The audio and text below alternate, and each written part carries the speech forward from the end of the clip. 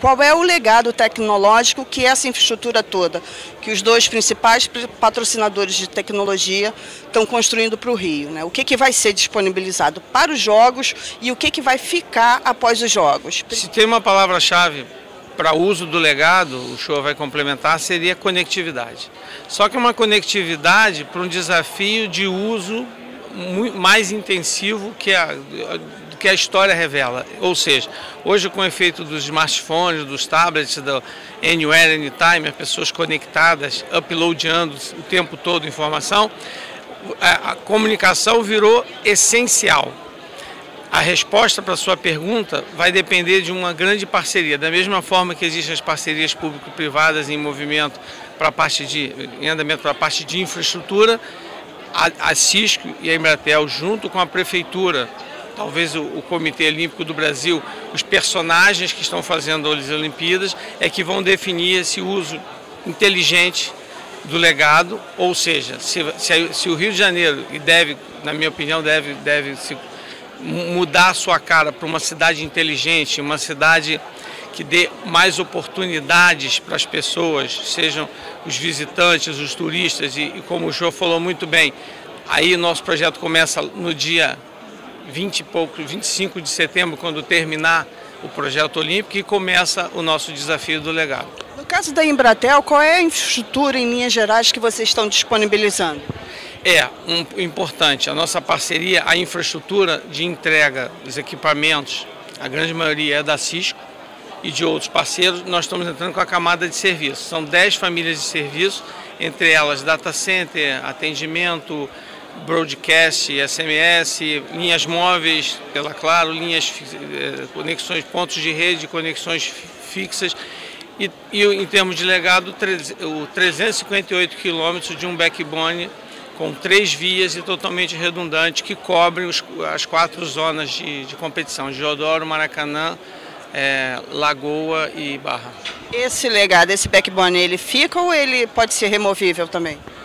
Olha, eu diria que na nossa visão ele, ele fica porque ele já, já, ele já até o como o show coloca muito bem, ele já está embaixo da terra. Então eu acho que dá mais trabalho para a gente desencavar ele do que usar. A nossa ideia é que a gente use ao invés de desencavar. No caso, Rodrigo, é, qual é o legado que a Cisco deixa para a cidade, já que vocês são o grande provedor de, de infraestrutura, né, de, de tecnologia da informação e comunicação? Eu costumo, toda vez que eu vou discutir o tema legado eu costumo dizer que não é um legado da Cisco ou da Embratel, é um legado de todas as empresas envolvidas na realização e na entrega desses jogos. E eu costumo dividir legado em três áreas. O legado de infraestrutura. Normalmente as pessoas associam legado à infraestrutura, algo que foi construído e que permanece e que deixa de servir os jogos e passa a servir a cidade. Isso fica muito claro quando a gente vê os trabalhos em infraestrutura de mobilidade urbana, infraestrutura de saneamento e no caso de tecnologia, a infraestrutura de fibras óticas que a Embratel está montando para atendimento aos jogos. Isso fica. No caso da Cisco, quando eu falo de infraestrutura, nós estamos trazendo 70 toneladas de equipamentos para a realização do evento. E esses equipamentos são utilizados na entrega dos jogos. No meu lado, o que eu quero entender é qual a utilização desses equipamentos após os jogos, essa infraestrutura tecnológica no atendimento à cidade.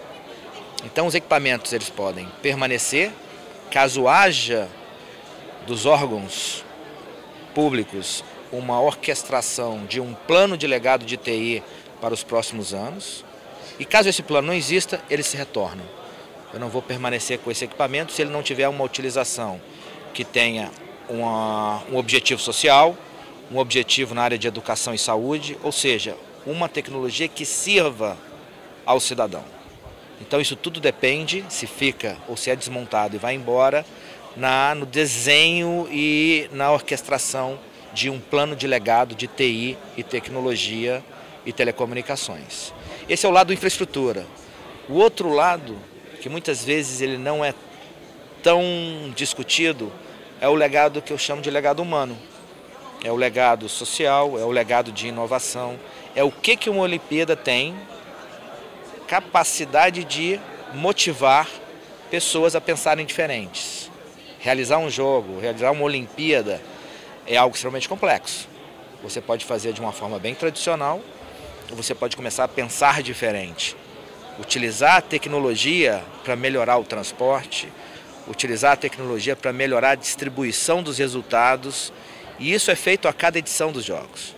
Então esse é um legado que fica, porque são brasileiros pensando junto com empresas globais em como realizar os melhores jogos na cidade do Rio.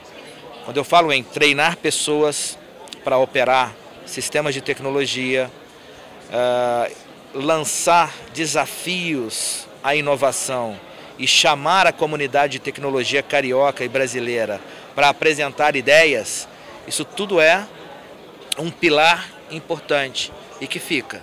Fica em possivelmente novas empresas que surjam da possibilidade de desenvolver algo novo para a Olimpíada, mas que fica também no grupo de pessoas que vão ter a oportunidade de trabalhar num projeto como esse. Então esses dois legados, o físico e esse mais humano, social, que ninguém consegue pegar, esses dois legados são importantes para a cidade. No caso, a gente já está há um ano né, dos jogos, né? 18 dias. Dessa, do, do trabalho que vocês é, vão ter que fazer, o quanto que já está realizado? Qual é o estágio que vocês estão hoje? É, se você olhar o backbone, talvez, obviamente, que como ele é a base de tudo, deve estar com 99%, faltando passar, acho que um pedaço dentro da grota funda. Então, e, e nós, ah, um ponto importante, é que na logística da Olimpíada eh, existe é, um, os eventos testes, que são cerca de 44 até, até os jogos. Nós já fizemos cerca de 10 e a construção, a entrega, o delivery já está sendo feito baseado nos eventos testes. Então, eu diria que uma, uma conta assim genérica, nós estamos cerca de 15% das entregas. Ou seja, quando você soma o que você já disponibilizou e que você vai complementar, nós já temos cerca de 15%. A grosso modo, são 146 Vênus, que é o termo para competição, não competição, os sites olímpicos, vamos chamar assim. Exemplo do Parque Olímpico são nove Vênus naquelas Vênus de competição e mais duas, de, são 11 Vênus no total, de Odoro são cerca de 10. Se você poderia assumir que nós temos cerca de 15 Vênus prontas. É, Rodrigo, os equipamentos eles são fabricados no Brasil, precisarão ser importados. Como é que vai ser essa, essa logística para trazer 70 toneladas de equipamento? É, os equipamentos são fabricados fora do Brasil, até porque no modelo dos benefícios que foram estabelecidos, eu tenho todos os benefícios na importação desses equipamentos. Então, os equipamentos são equipamentos de última geração, desenvolvidos e fabricados fora do Brasil. Nós estamos trazendo esses equipamentos já fizemos a importação de 64% de toda essa infraestrutura e ao longo desse ano, até provavelmente janeiro uh, do ano que vem, a gente já deve ter trazido para o Brasil 100% dessa infraestrutura de equipamentos.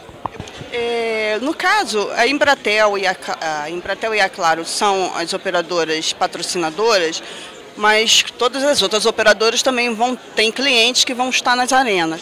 Como é que foi a integração com TIM, Vivo e Oi para que os celulares funcionem nas arenas? É exemplo do que foi feito nos estádios da Copa. Como é que foi essa, essa negociação, essa integração? Carmen, você já descreveu todo grande evento não seria diferente, existe um consórcio entre as operadoras e nessa vez não foi diferente, o desafio é um pouco maior, mas já existe um, trabalho, um, um, um grupo conjunto de trabalho coordenado pelo Sindicato Brasil e também pelo Ministério das Comunicações, uma vez que esse compromisso foi assinado lá em 2010 como uma das é, necessidades de infraestrutura, como o show colocou muito bem, para você sediar os jogos. Então, todo, todos os usuários vão ter acesso, sim, ao seu celular, à sua banda larga através da sua operadora. A diferença da Claro, no caso específico, é que nós também somos responsáveis por atender a família olímpica. Você imaginando, é, é, é toda a imprensa, os atletas, quem está dentro da Venue, olhando assim, dentro das instalações, o indoor seria é, atendido completamente, seja no Wi-Fi, seja na cobertura, pela Claro. Mas o público em geral vai ter o acesso à sua operadora e, em alguns casos específicos, talvez até áreas de Wi-Fi público nos live sites que nós ainda estamos definindo. Mas a, a boa notícia é não é por falta de conectividade que ninguém vai ficar sem, sem curtir a Olimpíada. É, as Olimpíadas começam no dia 5 de agosto de 2016. Dia, Vou... dia 3 começam as, as, as, algumas competições já começam no dia 3, quer dizer, a, a, Olimpíada televisada, né, o que vai ser mostrada é pouquinho, né? A gente tem 10 milhões de pessoas mais ou menos envolvidas aqui e nós vamos ter só 4.3, entre 4.5 e 4.8 bilhões de pessoas assistindo de lá. Então ela já começa antes na televisão. Né? O trabalho de vocês começa quando? Já começou em 2009. Eu diria que ele acelera um ponto importante, porque o show colocou até em janeiro, que já em março do ano que vem existem dois rehearsals, que são ensaios gerais. Nós temos dois ensaios gerais, é como se fosse uma pegando parafraseando lá o desfile das escolas de samba, é como se tivesse dois, dois desfiles prévios simulando todas as condições. Um vai ser em março e outro em maio. Então eu diria que para a gente já começou, a gente só acelera no final. E, e existe um freezing cerca de 30, 60 dias antes da maioria das instalações. Então, ou seja, a Olimpíada que começa em agosto, ela termina a, a nosso delivery em maio e junho.